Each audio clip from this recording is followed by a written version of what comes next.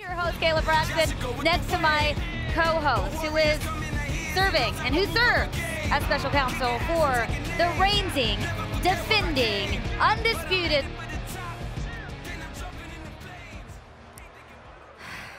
Paul, uh, what did I do wrong this time?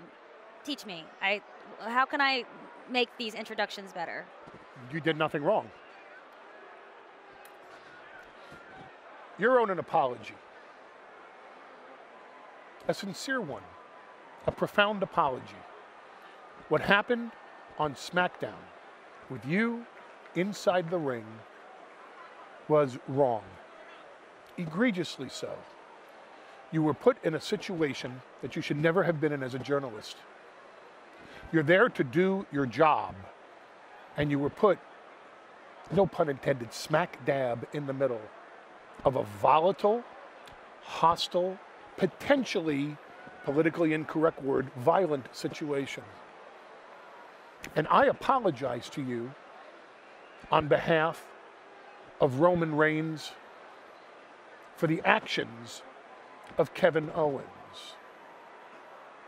Kevin Owens putting you in that situation was the most unprofessional act I have seen on SmackDown in a long, long time. It's why Kevin Owens should never be the Universal Heavyweight Champion. Obviously, Kevin Owens' mother did not raise a gentleman.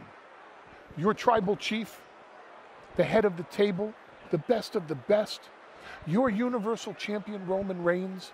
We always talk about his father, Sika, the Hall of Famer, the Wild Samoan. Roman Reigns' mother raised a gentleman. Kevin Owens' mother raised a misogynist, a sexist, and a savage. I apologize to you. It was embarrassing and humiliating to be associated on the same brand as Kevin Owens. Roman Reigns apologizes to you. And I assure you, as long as Roman Reigns is your tribal chief, that will never, ever happen inside his ring again. Well, Paul, uh, I don't really know what to say. Oh, well, you say, Thank you, Mr. Heyman. That was a lovely apology. Your mother raised a gentleman, too. And then you reach over and you shake my hand and we move on with the show. Well, Paul, thanks for advocating for my position. What? I don't advocate anymore. I'm special counsel.